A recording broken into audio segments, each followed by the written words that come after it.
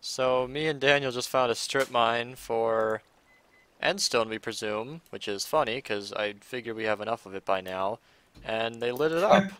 I mean, I guess it'll look nicer for you, but I think somebody forgot for a second that Endermen aren't two blocks tall.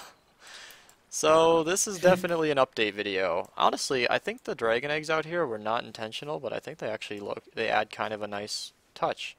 So I talked to Southern. Uh, I don't know if I put this in the video, but whoever built the duper for the sand here uh, built it improperly. You see, we had uh, this got removed because people were farming dragons uh, for uh, Dragon's Breath, and so they kind of shredded everything as dragons tend to do. And uh, when we needed to rebuild that because this one works for dragon eggs as you can see we're duping here. Uh, nope over here other side. We're duping dragon eggs and all this is going to spawn and being collected somebody built the same duper that we have on the other side for powder. And uh, well the recording of this is because once again Daniel did all the work for me when I logged out. So he and did you get any help Daniel? Uh, not today, no. Okay, so uh, there was Mateos on at one point. Mateos, I don't know how to say his name. I just call him Matt. I think it's Mateus, yeah. but he'll probably get mad at me for pronouncing his name wrong. I think he did a little bit of redstone, but not too much. I think he did the majority of like the Ampratice, to be fair, though. Okay, so they worked on the powder room, which is something that means something else. And uh, looks like they did just about all the wiring for this. Uh, the only thing that really there is to change are a couple things. So first off, these item streams are combined. They should probably be separate because the way that we harvest powder is different than the duper. Uh, the concrete converter, which is what you should call us because it's not really a concrete farm. Uh, it's more of a concrete converter that just converts the powder that we're already duplicating. So since powder is just going to flow through here like a faucet, all we really need to do is break the middle block of this obsidian, and then somewhere along here where it's out of the way, we can just break it on soul sand and then move it in in a water stream, and then it'll be really, really easy to transport. And then that can just plug in straight directly into the system. But that's it. Everything looks good and is mostly functional, and we can farm stuff pretty soon here. And I am in an exceptionally good mood because today I got two fillings in my teeth, which I've known about, I've known the procedure was going to happen for like 21 to 20 days. I don't know. It's been about two or three weeks. And I've been dreading it because to those of you who might have never gotten fillings at the dentist, you'll know that they have to drill into your tooth and then they have to fill it in, which is where it's a filling. But that's usually extremely painful, so they inject you with Novocaine into your gum so that it's numbed, which usually isn't that bad. I mean, it's just like a small prick and then it's numb and then you don't feel anything and you're good. And then you can't eat or really talk that well after a few hours uh, afterwards, but it's not that bad. Uh, but for whatever reason, I have this personal distaste for needles. Oh my god, they just, needles in or around my mouth, or even getting shots aren't that bad, I guess, but like needles in my mouth, oh, that freaks me out, and I really, really, really don't like that. And I'm in a fantastic mood, because today, right before we were about to start, the dentist is like, hey, you're fillings aren't actually that big. Uh, they're actually pretty small, medium size. You might not even need Novocaine. So, long story short, I uh, I got to do the whole procedure all in well without any Novocaine or any pain. So I'm in a fantastic mood. So I came to spawn to check out the items coming in, and um, something's wrong here. Can anybody spot it? Uh, I did not make this item elevator, but I'm Uh, if I was a gambling man, I would say that this piston needs to be powered by this torch. Yeah, and it needs to be a block lower. So I think it should just be a block lower, given that the dust would hit it in that case. But it seems like the items are only being sent up on the off chance that there's a gap in the items, and then that happens. Okay. There we go, easy fix. Just move the piston down and everything's working fine. Also with this elevator, um, sorry to TDL's wiring, but uh, I'll put a link to this in the description below, but uh, I didn't do this here, but you can easily just have a dust underneath the torch and then a repeater going to the left and a repeater going to the right. Uh, with the repeater being down a block facing into the into a block powering the piston.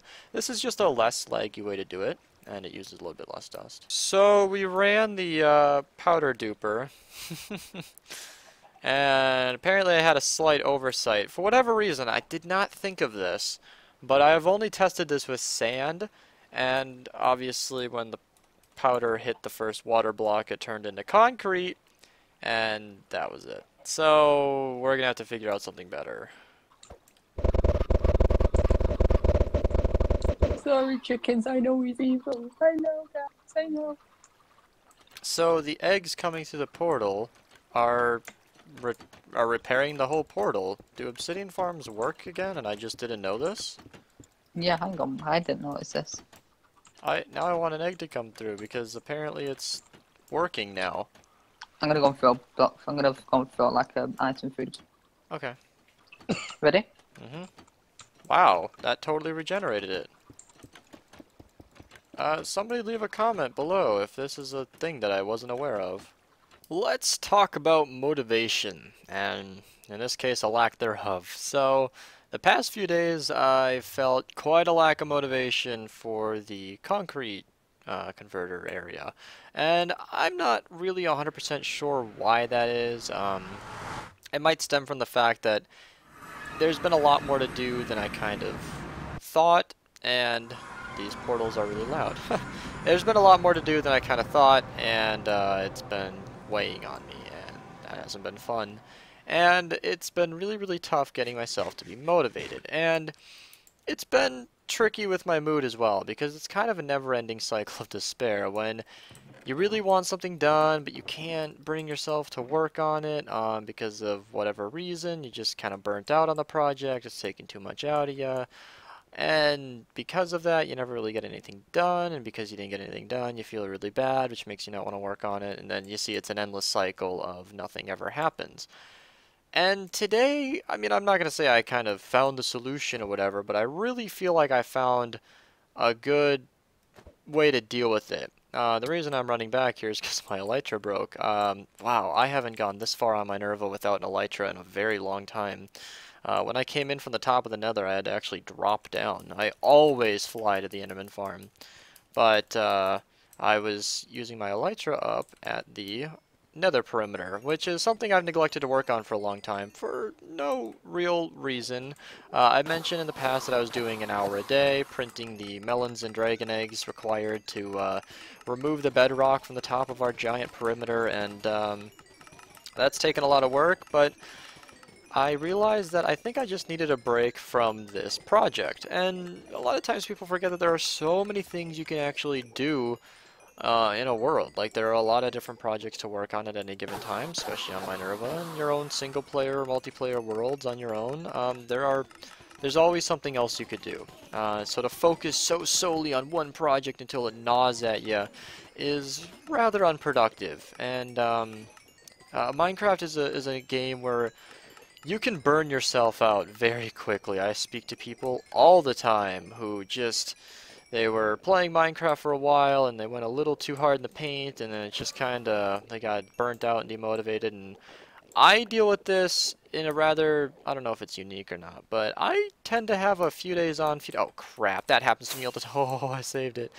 I seem to have a few days on, few days off kind of cycle where, you know, I'll play for a few days and then I'll slow down, play Battlegrounds or Pokemon or go outside or something. I don't know. You, you, you change it up. Uh, variety is the spice of life.